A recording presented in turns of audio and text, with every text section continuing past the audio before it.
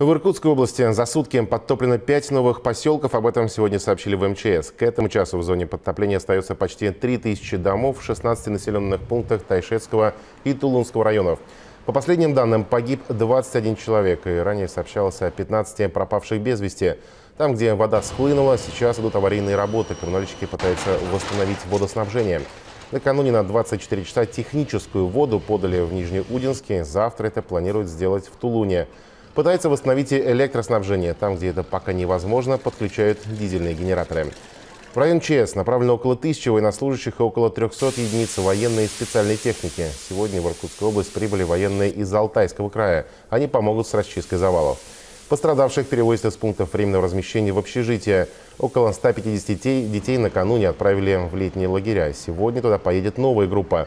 В пострадавших от наводнения домах сейчас работают комиссии по оценке ущерба. Уже идет работа по приему заявлений с выплатой 50 и 100 тысяч рублей, которые компенсируют частично или полный, полную потерю имущества. Также ведется уже работа комиссии, в большей степени это касается города Тулуна и Нижнеудинска, по оценке состояния жилого фонда.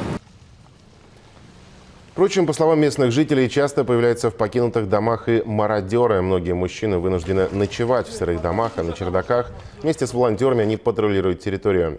Появились и первые оценки финансового ущерба. Он колоссальный – 29 миллиардов рублей. Примерно половина этих средств нужна на капремонт домов. И при этом каждое третье пострадавшее здание восстановлению не подлежит.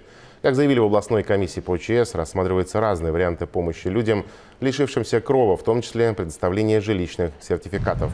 Владимир Путин подписал указ, по которому наводнение считается чрезвычайной ситуацией федерального характера. Правительству поручено выделить дополнительные средства из резервного фонда.